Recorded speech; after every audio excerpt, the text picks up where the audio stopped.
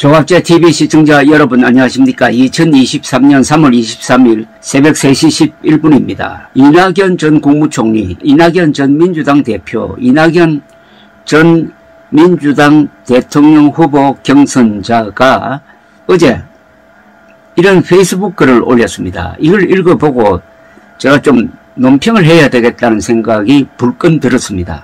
이렇게 썼습니다. 한일 관계가 회오리를 일으켰다. 한일 정상회담은 양국 정부의 기대와 달리 양국 관계의 취약성과 양국 정부의 한계를 드러내며 새로운 위기를 조성했다. 한국 측은 일제강점기의 강제징용 문제를 너무 쉽게 그것도 일방적으로 타결하려 했다.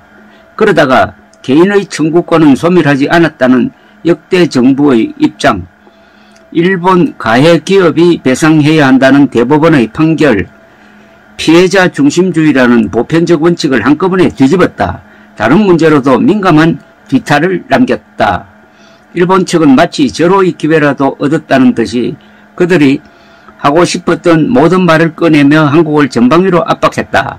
독도, 후쿠시마 수산물처럼 조심스럽게 접근해야 마땅한 문제까지 거침없이 들이밀었다.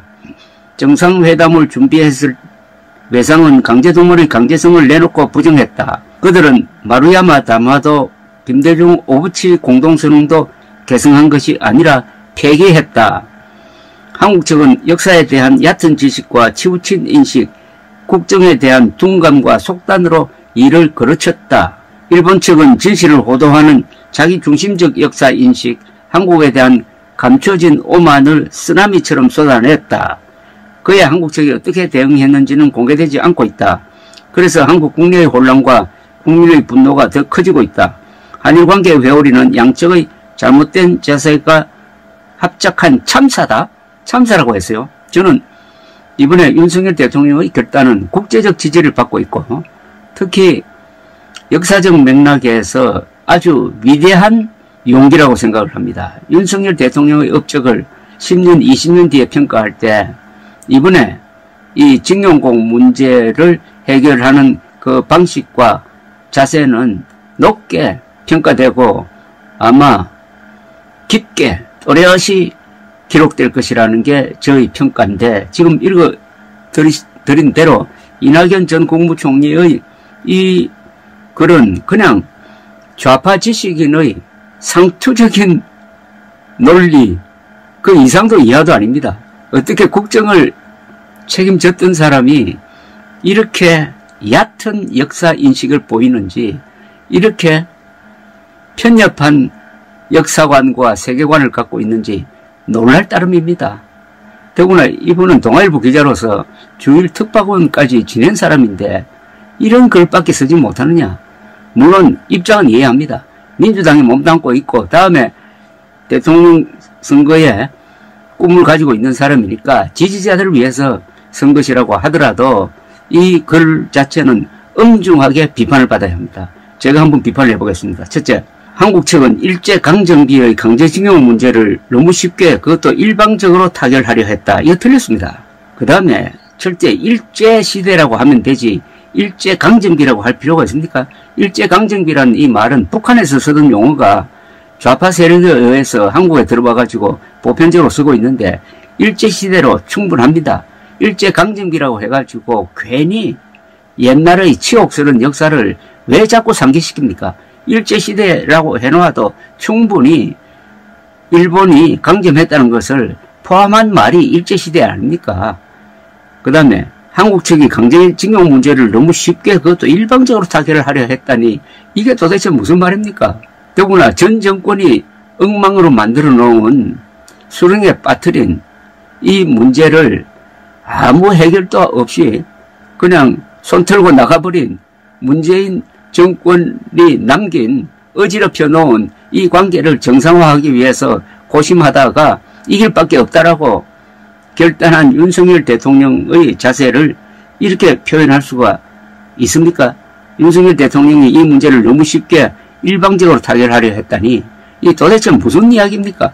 정세균 전 국무총리의 고백에 의하면은 문재인 정권 말년에 가면은 한국 측이 일본에 대해서 정상회담 하자고 거의 국을 했다는 것 아닙니까? 그래서 일본이 그 제안을 야멸차게 거절했다고 해서 정세균 씨가 상당히 거칠게 거칠게 일본을 비판한 동영상이 지금 있습니다.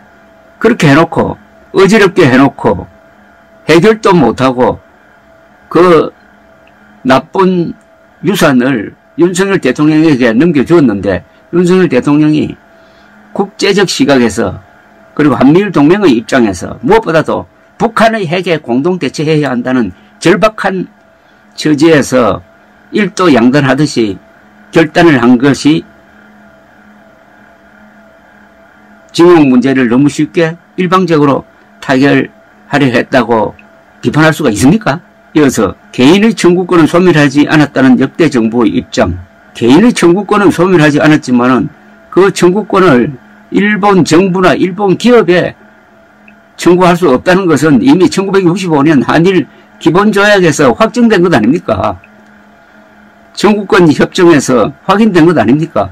역대 정부가 다 이걸 인정을 하고 노무현 정부 때도 잘 아시겠지만은 징용공 배상은 일본에 대해서 청구할 수가 없다. 그건 이미 끝났다. 그래서 우리 돈으로 하자 해가지고 6천억 원 이상을 가지고 징용공 가족들에게 배상한 것 아닙니까? 그것으로 끝나야죠.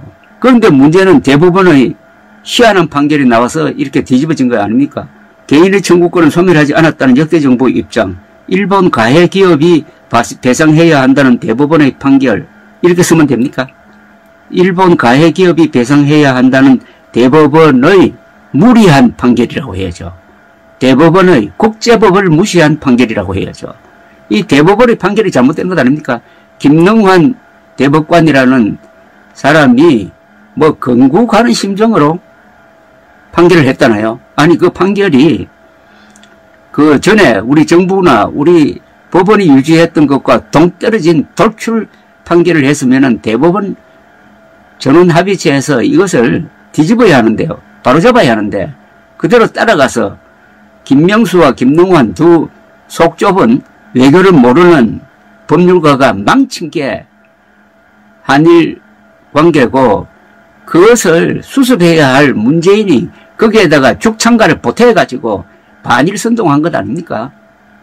그래서 우리가 얼마나 국제적으로 망신을 당하고 국제적으로 이 문제에 대해서 한국 편을 드는 나라가 단 한 나라도 있습니까? 국제사법재판소에 제소해봤자 질 것이 뻔한데 이러니까 일본은 아주 당당하게 문재인 정부를 향해서 국가 간의 약속도 지키지 않는 정부라고 혹평을 하고 거기에 대해서 할 말이 있었어요. 이렇게 만들어 놓고 미안하다고 해야 될 이렇게 폐를 끼쳐서 미안하다고 해야 할 이낙연 씨가 윤석열 대통령을 비판한다는 게 이게 무슨 무슨 짓입니까 이게 또 그 다음에 피해자 중심주의라는 보편적 원칙을 한꺼번에 뒤집었다고요? 아니 피해자 중심주의로만 있습니까? 고객 중심주의는 없어요. 피해자 중심주의로 나를 끌고 가다가 보면은 이게 어떻게 됩니까? 그럼 맨날 세월로 유족 중심주의 에 서가지고 국정을 운영해야 된다는 이야기입니까? 대통령이 그런 자입니까? 피해자 중심주의라도 이게 세계의 보편적 가치나 대한민국 헌법과 그리고 국제간의 약속과 맞지 않으면은 피해자 중심주의는 안 되는 거죠. 피해자 중심주의가 무조건 좋습니까?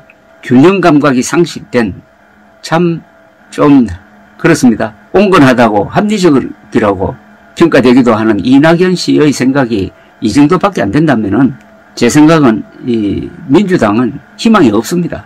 이재명과 근본적으로 다른 점이 없다는 것을 발견하게 됩니다. 이제라도 늦지 않았습니다. 김능환, 김명수, 문재인 세 사람은 한일 관계를 파탄시킨 데 대한 반성을 담은 사과문을 발표하고 윤석열 대통령에게 미안했다고 하고 이번 결단을 지지한다고 해야 과오를 부분적으로 씻을 수 있을 것이라고 생각합니다. 감사합니다.